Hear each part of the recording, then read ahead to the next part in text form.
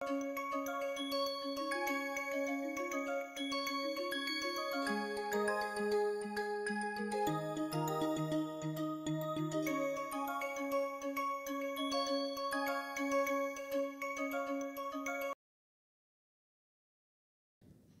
everyone. Uh, it's a pleasure to welcome you all to MSB lecture series on interpretative spectroscopy. So I am discussing now mass spectrometry since last uh, few lectures. So today let me continue from where I had stopped. Let us begin with a simple problem such as this one. An organic compound exhibits M plus M plus 2 cation and M plus 4 cation peaks in the intensity ratio of 1 is to 2 is to 1 in the mass spectrum and also shows a singlet at 7.49 ppm in the 1H NMR spectrum recorded in CDCl3. So, identify the compound. You have here four options are there 1 2 dichlorobenzene, 1 4 dibromobenzene, 1 2 dichlorobenzene and also 1 2 dibromobenzene. So, now uh, you have four options are there and obviously when halogens are there such as chlorine and bromine M plus 2 and also M plus 4 peaks are expected. So, at this moment just by looking into it without looking into the NMR data it may be difficult to identify in absence of NMR you can anticipate this compound to be one of these all four. Of course, if you have mass we should be able to identify in the absence of mass just if the information given about M plus 2 peak and M plus 4 peak intensity that is 1 is to 2 is to 1 you may think that at least these two will come very close to it. But 1H NMR shows only one signal. So, let us look into it. Let me draw the structure first all uh, structures. First let us analyze 1H NMR data here.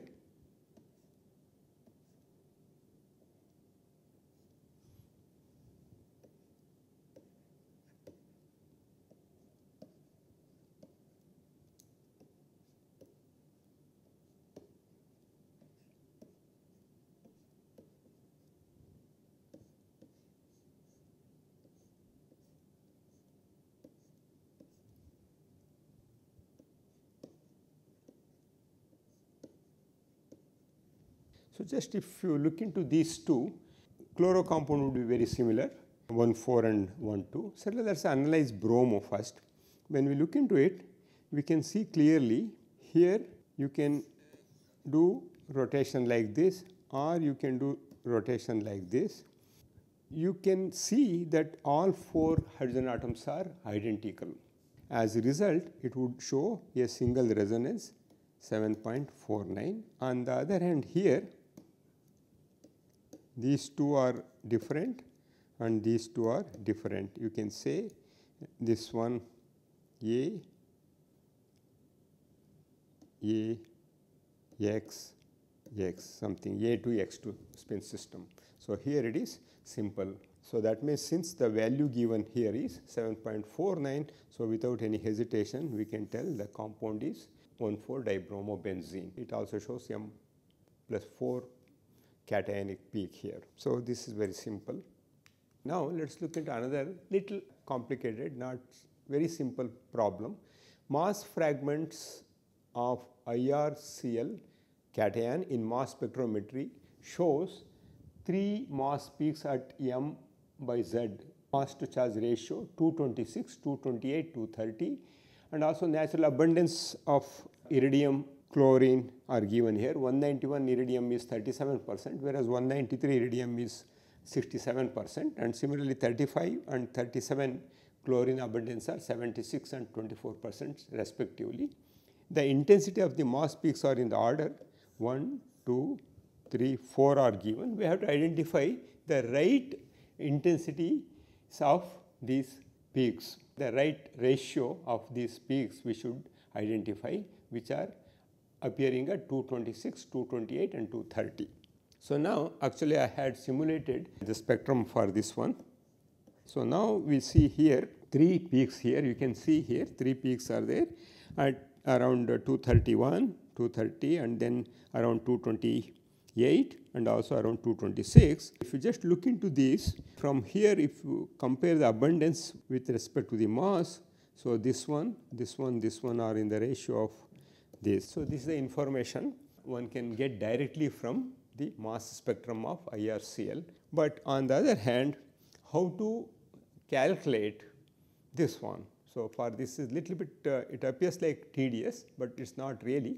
So, I have highlighted here. Let us see whether this ratio we can arrive using the calculations. Now, we know that we have iridium 2 isotopes and chlorine 2 isotopes are there 191 iridium 37, 193 iridium 63 percent and then chlorine 35, 76 and let us designate them as X, Y, A and B.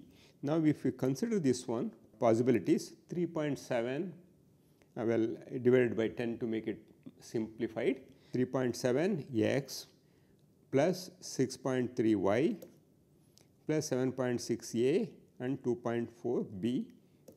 And now, if I expand this one we get the values like this this one can be simplified uh, 28.12 xa by m and then 47.82 due to m plus 2 and this is also m plus 2 and this is m plus 4. Now, if we go for again making it simplified 28.2 for m and 56.76 is m plus 2 and this one for m plus 4. You just simplify and then make it less complicated, multiply all this by 1.76, we get 49.49, 100, 26.6. So, now the ratio we are getting and just if you look into the ratio here, it exactly comes 49.5 is to 100 is to 26.6. So, the correct option is A. So, this is how you should be able to do it. Just look into it once again and uh, try to make yourself uh, comfortable in solving such problems of course, if you have one uh, isotope, it is very easy, but if you have two uh, atoms with different isotopes with different abundance, one has to go for these. There may be even more complicated ones where we have three having three different type of isotopes. Just uh, if I find more examples, I would come back with such examples in my lectures at the end of this lecture series. So now let us look into the information we can get from mass spectra. Okay, for example, if we have a simple hydrocarbon like CnH2n plus 2, what information we can get by recording mass spectrum for this molecule. So, the different type of atoms present in the molecule that comes directly by looking into the molecular formula we get and also the number of each atom present in the molecule that information also one can get it. If it is an organic molecule, it also gives information about saturation, unsaturation, presence of cyclic groups and also other functional groups. For example, if you consider CN H2n plus 2, it has n plus 1 pairs of hydrogen atoms. For example, if I take C4 H10 is there, this is n, n plus 1 would be equals 5, 5 pairs of hydrogens are there.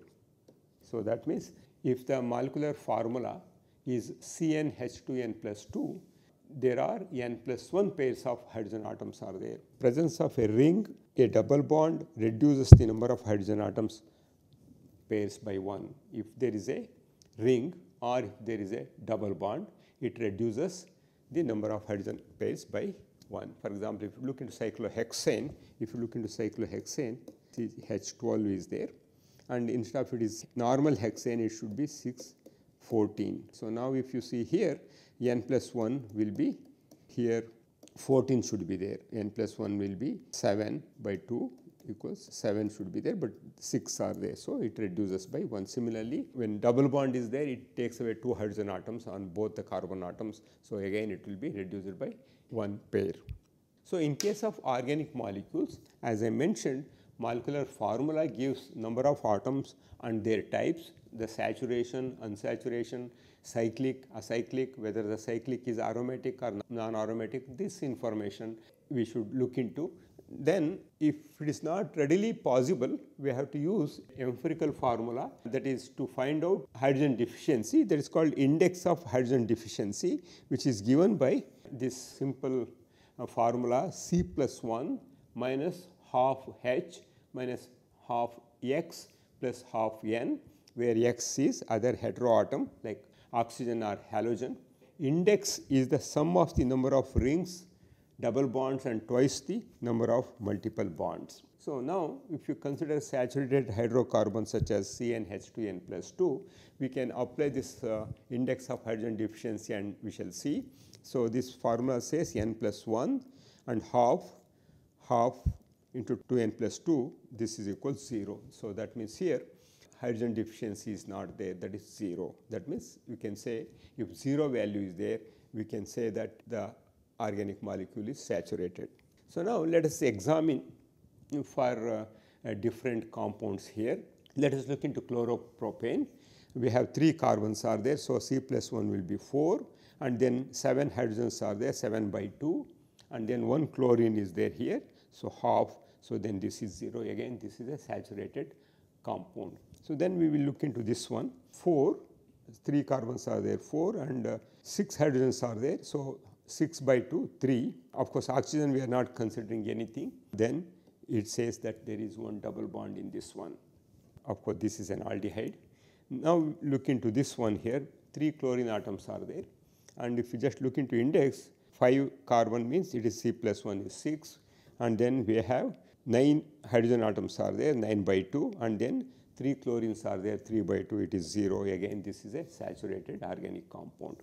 When we look into this one here cyclohexane 6 carbon atoms are there. So, C plus 1 would be 7 and then uh, 12 hydrogen atoms are there 12 by 2 is 6. So, one ring is there here. So, this one and similarly when we look into C6H6 7 will be C plus 1 and then 3 pairs are there 4 that means here uh, one ring and 3 double bonds are there one ring is there and 1 2 3 double bonds are there. So, here the hydrogen deficiency index is 4 here. So, this is how we can calculate the hydrogen deficiency index and then we can start applying that molecular formula to arrive at the right structure of the molecule uh, once the data is obtained from different fragments and ion peak is parent ion peak is obtained from mass spectrum.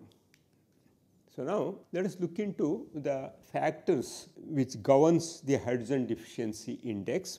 So, it is very easy to find out uh, the hydrogen deficiency. So, involves very simple considerations in a acyclic hydrocarbons. In acyclic hydrocarbons, n carbon atoms have n plus 1 pairs of hydrogen. If you look into CnH2n plus 2, So, n carbon atoms would have n carbon atoms will have n plus 1 hydrogen atoms. 2 carbon have 3 pairs, index is 0, no rings or double bonds. So, it is very easy to identify saturated hydrocarbons. Any added divalent atom shall not alter this number if it does not form a ring or double bond. This is very important. Any added divalent atom shall not alter this number if it does not form a ring or double bond. For example, O is there, OH is there, so only one it does not alter. For ethanol and dimethyl ether have 3 pairs of hydrogen index is 0. So, that means as long as it does not form a ring or double bond, these divalent atoms do not alter this hydrogen deficiency index. That is the reason in the previous case we did not consider anything for oxygen. If X replaces H, formula should have both H and X. Since every nitrogen adds an extra H to the molecule, half N must be added. That is the reason we are adding half N. And then for example, methylamine and dimethylamine, trimethylamine, etc. So, this is applicable only if N and P make 3 bonds. As long as they are trivalent, whatever I said holds good and S and O should have 2 bonds and H and X should make only one bond.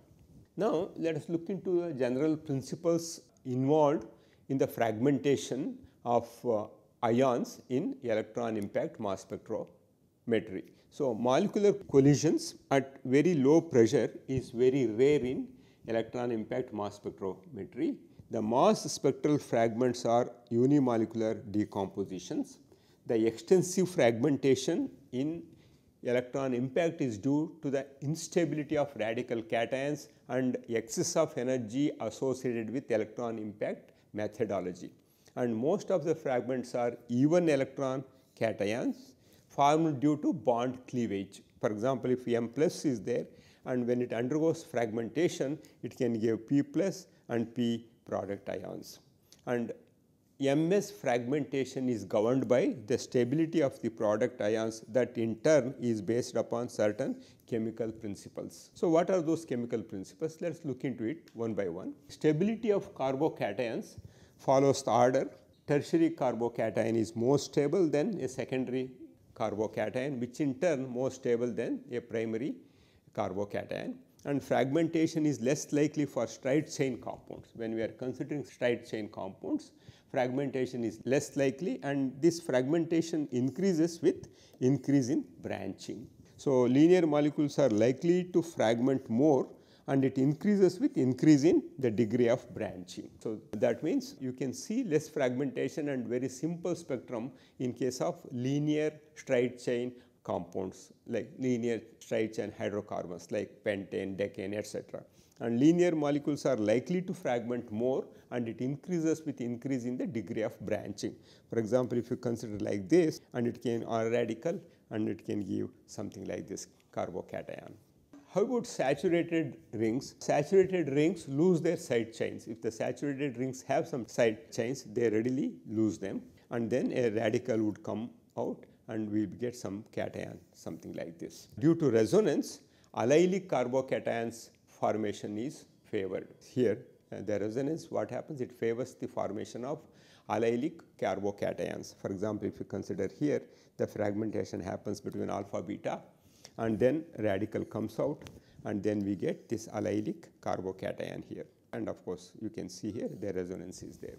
And beta cleavage is very probable in alkyl substituted aromatic compounds. Just look into this compound with side chain. Here this is the possible site for cleavage and our radical comes out and we get a cation like this and we end up getting some alkyl substitute aromatic compounds will cleave in this way and CC bond next to heteroatoms is prone to cleavage. CC bond next to heteroatoms is prone to cleavage provided we have some heteroatoms in the side chain. For example, we consider here we have a heteroatom and then the side chain CC bond next to this one is this one. So, here the cleavage is anticipated again a radical would come out and we get something like this because here this is going to stabilize this one the carbocation is stabilized by pi donation from Y.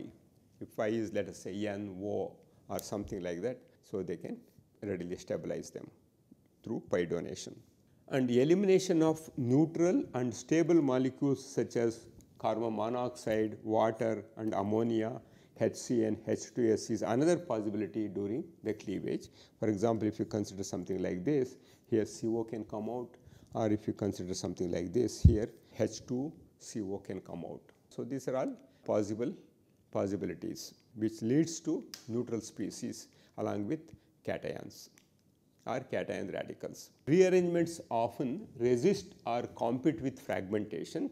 That means they resist bond cleavage if the activation energies are very low.